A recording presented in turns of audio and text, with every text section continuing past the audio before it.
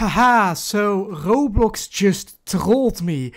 If you know, this is what my normal character looks like. Pay close attention to the head. Do you see how it, you know, does the smoke?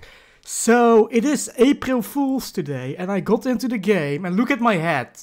It's made of smoke, and instead of smoke, it shoots out little heads. Bruh, I was so confused. That's so weird, dude. Bruh. Uh, I, I got a jump scare. I thought the game wasn't loading correctly, but like, bruh. Yeah, I got trolled. I got trolled. Haha, Roblox. Funny, funny. I got trolled. Ah.